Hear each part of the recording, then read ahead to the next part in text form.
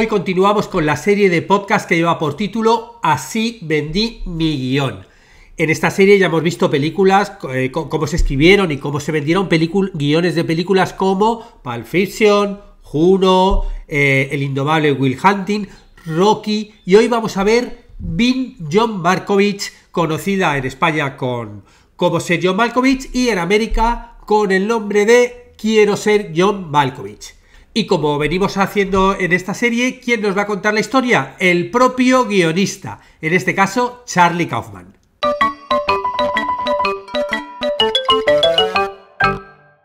Y hoy presentamos un reto nuevo en cursosdeguion.com.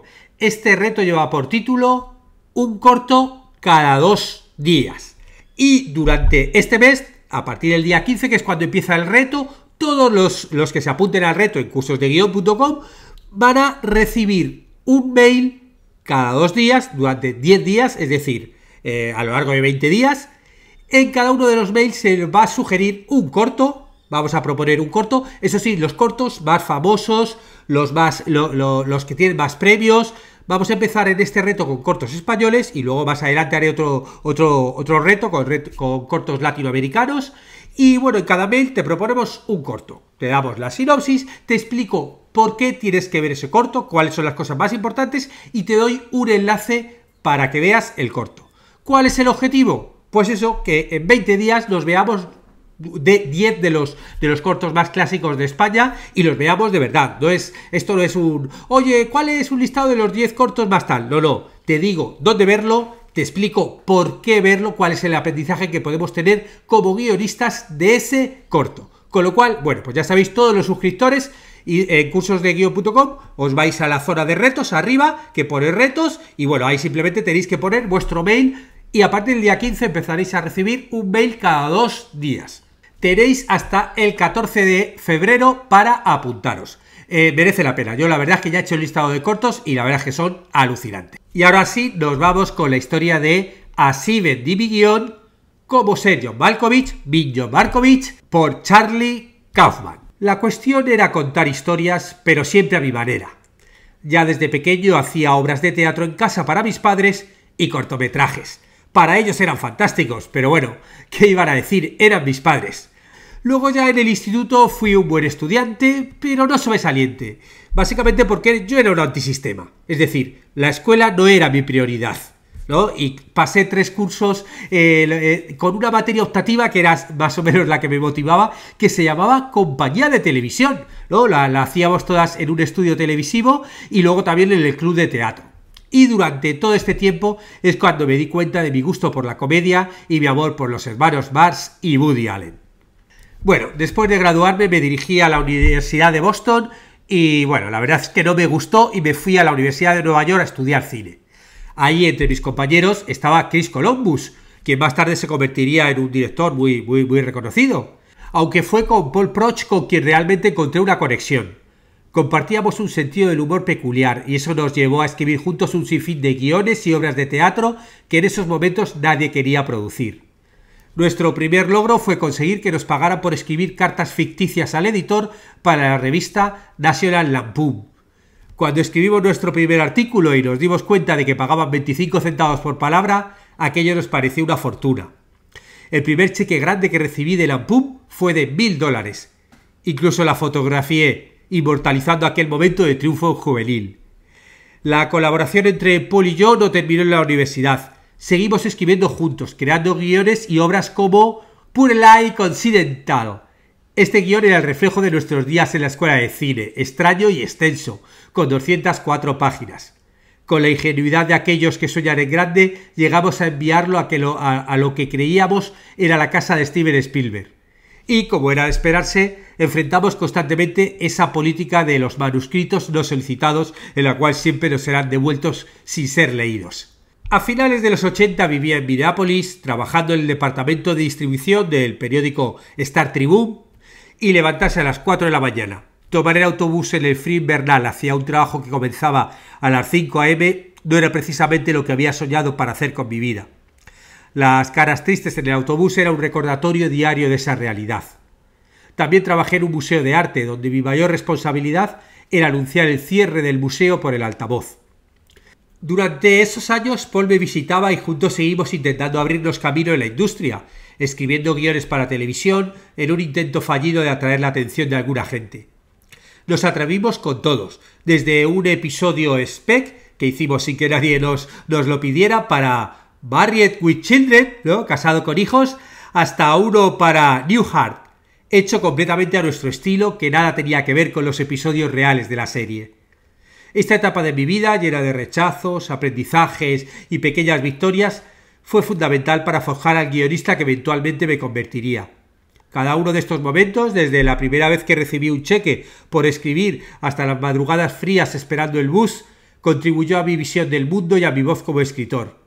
Era un camino largo y a menudo solitario hacia cómo ser John Malkovich, pero cada paso me enseñó algo valioso sobre la perseverancia, la creatividad y la importancia de encontrar tu propia voz, por extraña o poco convencional que pudiera ser. En 1991, con una mezcla de determinación y desesperanza, me mudé a Los Ángeles sin trabajo ni perspectivas claras. Mis, y mis únicos créditos profesionales eran algunos artículos para National Lampoon y la ciudad de las estrellas parecía más espejismo que una realidad tangible para alguien como yo. Conseguí un agente y llegué durante la temporada de contrataciones, esperando que la marea cambiara, pero no obtuve nada, ni siquiera una entrevista. Entonces, cuando ya casi había perdido toda la esperanza, recibí una llamada que cambiaría el curso de mi carrera. Fue una entrevista telefónica para un show en Minneapolis con Fred Willard, Access America. Me contrataron por teléfono. A pesar de mi decepción inicial por tener que considerar regresar a Minneapolis, este trabajo representaba una oportunidad mejor de la que había tenido hasta el momento. Así que con mi esposa Denise aún en Los Ángeles, esperando ver qué pasaba, empecé a empacar mi de 1980, sin aire acondicionado y corroído por las nieves de Minneapolis, listo para hacer de esa ciudad mi hogar una vez más. Pero entonces el destino intervino en forma de otra llamada. Esta vez de David Birkin, el genio detrás de Get Alive, quien había presidido las temporadas finales surrealistas de New Heart y trabajado en Los Simpson. Le gustó mi guion de Newhart. Me instó a no irme, a no rendirme. Aunque no me ofreció un trabajo en ese momento, algo en su voz me hizo confiar. Cancelé mi mudanza a Minneapolis y decidí esperar. Poco después me contrataron en Get Alive. De no haber sido por esa llamada, probablemente no estaría en Los Ángeles hoy. Todo lo que ha sucedido desde entonces creo el resultado directo de esa decisión. Cuando conseguí el trabajo por primera vez no podía hablar en la sala de redacción. Estaba trabajando en una comedia y no podía hablar. No fue que eligiera no hablar, no podía abrir la boca, no saldrían mis palabras. Y así duró seis semanas. Pensé que me iban a despedir y probablemente deberían haberlo hecho. En Get Alive trabajé en la segunda temporada y comencé a explorar elementos surrealistas, escribiendo episodios sobre exconvictas y brebajes de viajes en el tiempo, que marcarían el tono de mi trabajo futuro. Seguí escribiendo para la televisión, desde The Edge hasta Ned Anastasia, y también para The Dana Kirby Show y The Trouble with Larry.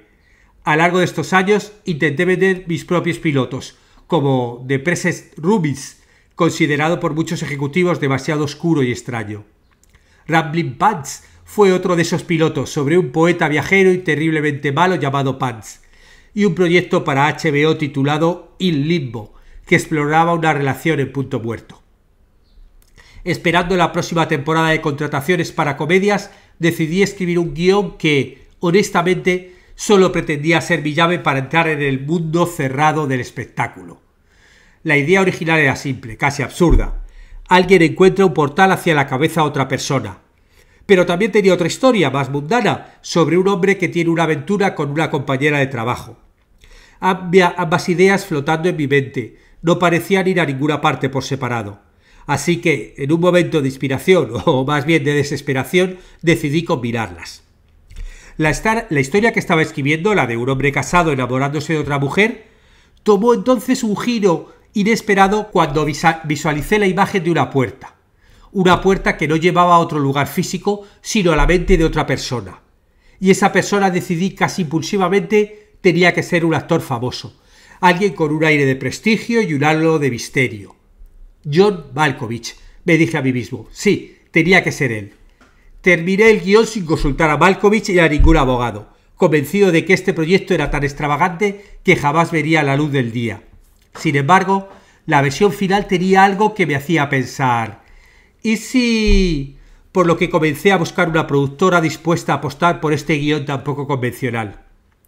Las respuestas que recibía eran desalentadoras. Me decían que el guion no era comercial, que era genial como literatura, pero irrealizable en pantalla. Incluso después de múltiples reuniones con directores y productoras, el consenso general era que nadie haría esta película. Es divertido, decían, pero imposible. Sin embargo, el guion llegó finalmente a manos de Speak Jones gracias a Sandy Stern de Single Cell Pictures, quien junto con Michael Stipe, sí, el, el cantante de Ren, buscaba proyectos únicos. Stern fue el primer productor que realmente quiso hacerla, encontrando el guion sumamente divertido. Jones, conocido por su creatividad en el mundo de los vídeos musicales, estaba buscando una idea para hacer su primera película y vio en el guion la oportunidad de hacer algo verdaderamente único en su debut para el cine. La idea de que Big John Malkovich podría ser algo más que un chiste se convirtió en una posibilidad real. A pesar de los desafíos, incluido un breve momento en el que New Lane Cinema, la productora, abandonó el proyecto por sugerir cambiar a Malkovich por Tom Cruise, perseveramos. Esther y el director Speak George volaron a Francia para convencer al actor. Recuerdo que Esther dijo, entre risas, que Malkovich estaba intrigado y medio horrorizado al leer el guion. Pero bueno, dijo que sí y una vez comprometido, todo comenzó a tomar forma. Su confirmación fue un punto de inflexión, aunque algunos productores no creían que él aceptaría. Su elección no fue solo por lo divertido que sonaba su nombre repetido, sino también por su presencia única, que se ajustaba perfectamente al tono surrealista que buscaba. La colaboración en la película fue intensa, con Malkovich incluso filmando sus propias tomas subjetivas, y su participación, junto con la dirección de Jones y un reparto talentoso como Cameron Díaz y Catherine Keener, transformó como sello Malkovich en un éxito crítico y de culto. No esperaba que la película se convirtiera en lo que fue, ni yo ni Spike. La primera señal de que habíamos hecho algo especial vino del Festival de Cine de Venecia. Aunque no me invitaron, la recepción fue abrumadoramente positiva, marcando el comienzo de una carrera que nunca imaginé y que me llevó hasta los Oscars. Mirando hacia atrás, esta odisea para llevar como señor Malkovich a la pantalla grande me enseñó varias lecciones fundamentales tanto sobre la industria del cine como sobre la creatividad en sí misma. La primera es que la perseverancia frente a la incredulidad y el rechazo es indispensable. Cada no que recibí me acercaba un paso más al sí que cambiaría mi vida. La segunda elección es sobre la importancia de encontrar colaboradores que compartan tu visión, incluso cuando parece una locura. La confianza que Speak Jones y Sandy Stern depositaron en este proyecto fue tan crucial como mi propia fe en él. Por último, aprendí que la originalidad y la audacia pueden ser recompensadas. Como sello Malkovich era un riesgo enorme. Era extraño, no convencional y nada garantizaba su éxito. Sin embargo, su aceptación por parte de críticos y audiencias reafirmó mi creencia en la importancia de seguir tu voz única sin importar cuán inusual o inexplorada sea.